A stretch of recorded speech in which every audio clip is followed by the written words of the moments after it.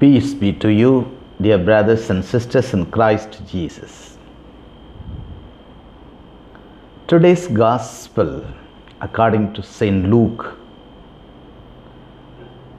invites us the narration that Herod Antipas wanted to see Jesus. He was a man of anxious and perplexed personality.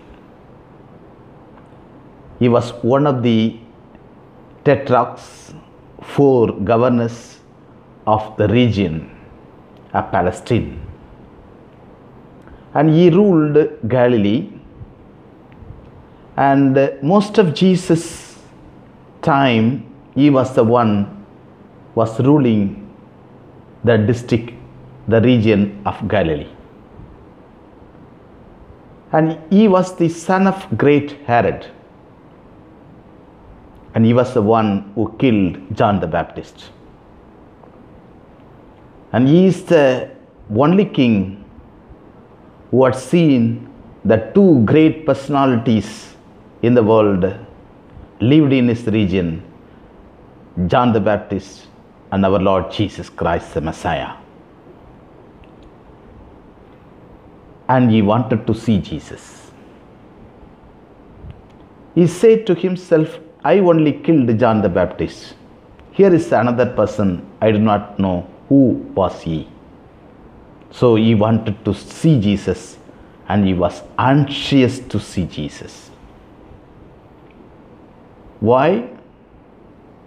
Because he considered Jesus as one of the wonder workers and gymnastic persons worked in his court. So he expected and considered and kept Jesus in the grade of the gym- gymnastic persons. He heard about the miracles worked by Jesus. So he wanted to see Jesus. He had no remorse or con- contrite heart. He had no heart for forgiveness. He never wanted to open his heart for the absolution of so much of his criminals. But he wanted to see Jesus. He wanted to see Jesus to see his miracles, not to have faith, not to have forgiveness, not to have absolution of sins, yet he wanted to see Jesus. Jesus was sent to him during, the, during his trial. Jesus happened to be from the region of Galilee. Pontius Pilate, knowing this, sent him to Herod Antipas for further inquiry. When Herod Antipas heard that Jesus was there in his court, he was so anxious and perplexed to see Jesus, as he was thinking that he would do so many miracles. Jesus was a person who did these miracles, only there is a great expression of faith. Jesus never did any miracle or little, did very little in Nazareth because they did not have much faith. So Jesus always did miracles when there is expression of faith. Expression of faith from Canaanite woman, expression of faith from the centurion, expression of faith from the blind man of Bethsaida, expression of faith from two blind men who were sitting on Jericho on the way to Jericho. Always there was expression of faith and there was miracle. Here there is a man who wanted to see miracle without any faith.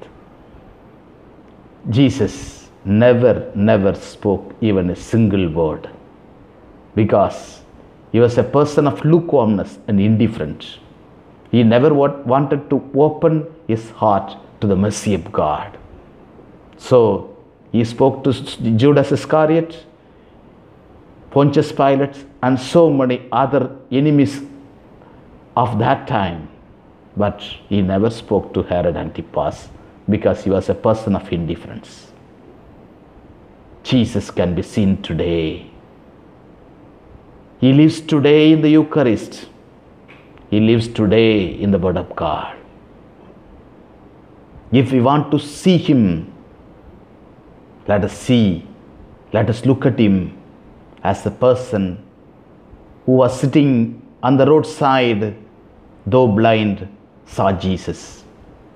Let us see Jesus like this man, not like Herod Antipas. Jesus lives in the Eucharist. Let us sit quietly and look at Him. Let us read and reflect the Word of God. God lives in the Word of God. Also, the Lord lives with the rejected, the downtrodden, all those, the poor of the society. Let us learn to meet this Jesus. Let us imitate the faith of the man who sat at the pathway with a blindness, not like Herod Antipas. Heavenly Father, we thank and praise you for all the gifts you have showered upon us, Lord. Open our eyes of faith, Lord, so that we may see you, Lord. We may see you in our Eucharist. We may see you in reading and reflecting the Word of God. You will meet us, Lord. You will heal all the wounds, Lord. All the inner wounds, you will heal us.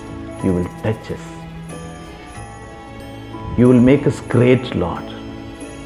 When we are touched by you, we will become a great person in the society. Help us to open our hearts to you, Lord. We are simple and saucy creatures.